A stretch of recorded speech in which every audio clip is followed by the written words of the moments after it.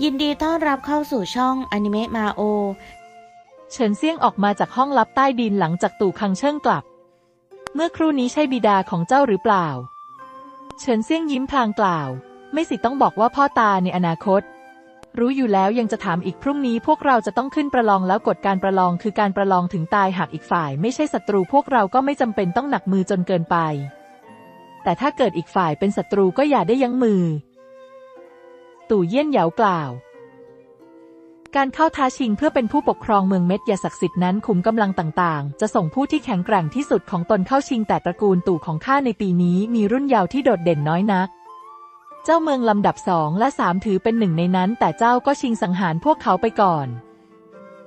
เฉินเซี่ยงยิ้มพลางกล่าวงั้นถ้าข้าช่วยให้เจ้าเอาชนะงานประลองในครั้งนี้ ไม่ได้เจ้าต้องตำหนิข้าแน่ นางย่นจมูกพลางกล่าว เจ้าเองก็ระวังตัวไว้เถอะมีคนมากมายปรารถนาจะสังหารเจ้า แต่ยังไงมันก็ไม่เป็นผลร้ายกับเจ้าหรอก เพราะตั้งแต่ข้ากลายเป็นคู่มั่นของเจ้าข้าคงเป็นหนึ่งเดียวที่ได้กลายเป็นศัตรูของบุรุษในเมืองทั้งหมด แต่นั่นย่อมไม่เป็นปัญหา ยามนี้เฉินเซี่ยงเพียงอยากจากเมืองเม็ดยาศักดิ์สิทธิ์ไปยังโลกมนุษย์แห่งเดิมอย่างปลอดโปร่ง ตอนนี้ข้าอยู่เพียงขอบเขตจิตวิญญาณขั้นกลาง ถ้าจะบ่มเพาะต่อคงมีเวลาไม่พอ หรือข้าจะใช้มุกมังกรทะลวงขอบเขตจิตวิญญาณขั้นสุดท้ายดี ถ้าเป็นเช่นนั้นข้าก็จะแข็งแกร่งขึ้น และที่สำคัญพวกผู้เยาว์ของตระกูลมีชื่อเสียงในโลกเม็ดยาศักดิ์สิทธิ์คงไม่ธรรมดาแน่ แม้เฉินเซี่ยงจะผสานสายเลือดสยบปีศาจแล้วแต่ปราณของเขากลับไม่ได้เพิ่มพู เพิ่มพูนอีกไม่นานเขาต้องเผชิญหน้ากับเหล่านักสู้ในขอบเขตขันติผู้เป็นครึ่งก้าวก่อนบรรลุสู่บุตรที่ถูกเลือกโดยสวรรค์อย่างเหล่านักสู้ในขอบเขตนิพพาน ด้วยเมล็ดธาตุ84,000 เมล็ดเมื่อเทียบกับเหล่านักสู้ในขอบเขตขันติแล้วห่างชั้นมากน้อยขนาดไหน ในห้องลับใต้ดินเฉินเซี่ยงกำลังคำนวณหากเข้าสู่การประลองเขาจะต้องเผาผลาญปราณไปจำนวนไม่น้อยแน่ ยังต่างกันพอสมควร เพราะการบรรลุขอบเขตขันติยังต้องใช้ปราณอีกมหาศาลที่สำคัญการทะลวงเขตขั้นแต่ละครั้งยังทำให้ได้พลังแห่งการบ่มเพาะจำนวนไม่น้อยตระกูลที่จะเข้าควบคุมเมืองเม็ดยาศักดิ์สิทธิ์ได้ต้องไม่ธรรมดาแน่บางทีพวกมันอาจจะมีผู้ที่ได้รับพลังแห่งการบ่มเพาะถึงสิบเท่า ที่นี่ก็เป็นเช่นแดนสวรรค์ ดังนั้นย่อมต้องมีทักษะระดับศักดิ์สิทธิ์และทักษะระดับพระเจ้าอยู่มาก แต่ผู้ที่จะบ่มเพาะทักษะเหล่านั้นอย่างน้อยๆ ก็เป็นเหล่านักสู้ในขอบเขตสวรรค์โลกมนุษย์ของเจ้ายังห่างชั้นกับโลกใบนี้อยู่มากสู้เหมยเหยากล่าว เฉินเซี่ยงนำเอามุกมังกรออกมาเขากำมันไว้แน่นพลางสัมผัสถึงพลังที่อัดแน่นอยู่ภายใน ถ้าข้าดูดกลืนมุกมังกรทั้งหมดข้าจะแข็งแกร่งขึ้นกว่าเดิมหรือเปล่า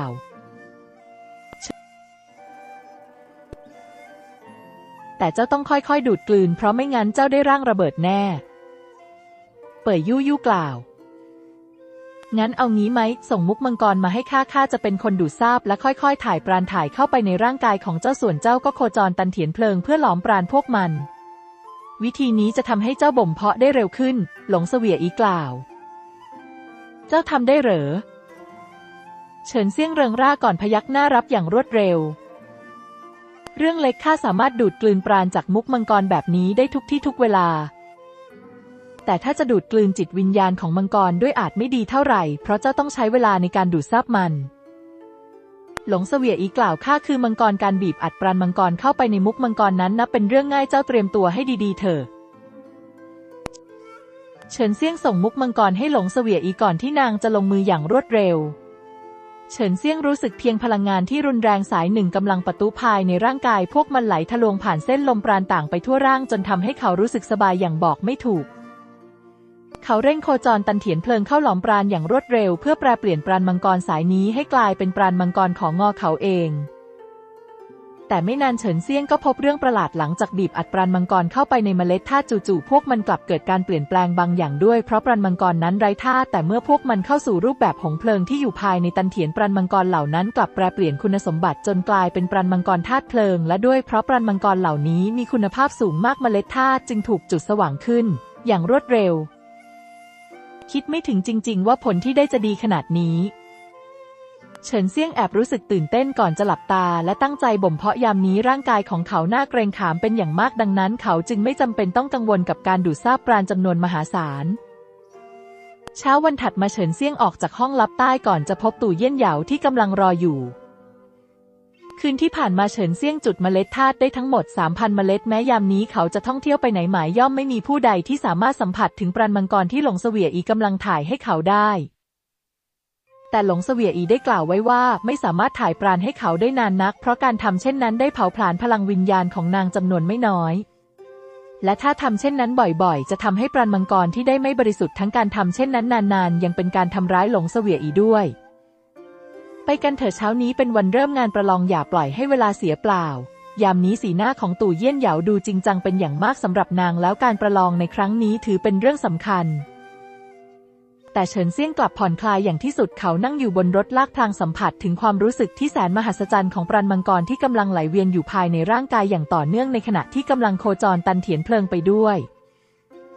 การประลองในครั้งนี้มีขุมกำลังเข้าร่วมทั้งหมด 8 แห่งแต่ละขุมกำลังส่งผู้เข้าร่วมครบ 3 คนเต็มอัตรารายชื่อของแต่ละขุมกำลังจะถูกเขียนลงบนใบไผ่เพื่อใช้จับสลากเมื่อสลากถูกจับพวกเราต้องครองเวทีให้ได้หากใครแพ้ผู้นั้นจะถูกคัดออกทันที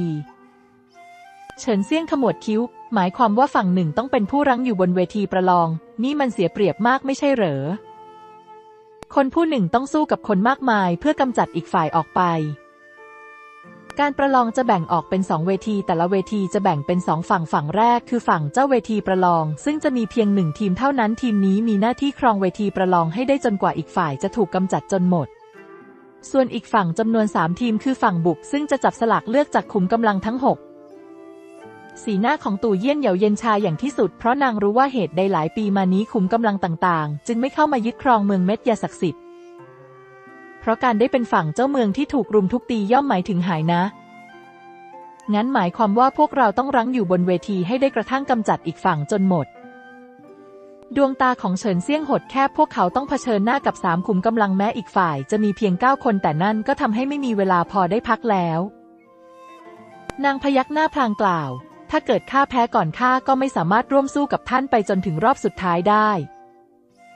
ถ้าเป็นแบบนั้นจริงท่านต้องเอาชัยให้ได้เพียงลำพัง สถานที่ในการจัดงานประลองเป็นพื้นที่ทรงกลมขนาดใหญ่ที่ศูนย์กลางมีเวทีประลองอยู่สองแห่งทั้งยังถูกคลุมด้วยข่ายพลังเพื่อป้องกันผลกระทบจากการประลองยามนี้ทั่วทั้งลานประลองคลาคล่ำไปด้วยผู้คนทั้งยังมีนิกายเม็ดยาศักดิ์สิทธิ์คอยเก็บค่าเข้างานด้วย เมื่องานประลองสิ้นสุดลงงานชุมนุมเม็ดยาศักดิ์สิทธิ์จะถูกจัดขึ้นที่นี่ด้วยเช่นกัน เฉินเซี่ยงเห็นผู้เยาว์ของแต่ละขุมกำลังความแข็งแกร่งของคนเหล่านั้น ไม่ธรรมดาส่วนใหญ่อยู่ในขอบเขตขันติ แต่จะมีก็แค่เซี่ยตรงหาวที่เฉินเซี่ยงพอจะรู้จัก แต่คนอื่นๆ กลับรู้จักเฉินเซี่ยง เพราะการที่เฉินเซี่ยงมาพร้อมกับตู่เยี่ยนเหยานั้น เป็นการแสดงออกถึงสถานะของเขาอย่างชัดเจน อีกอย่าง นางยังเป็นหนึ่งในสตรีไม่กี่คนที่แข็งแกร่ง และเป็นเลิศในการปรุงยา และที่สำคัญในการประลองครั้งนี้มีนางผู้เดียวที่เป็นสตรี อย่าลืมติดตามรับชมในตอนหน้านะคะ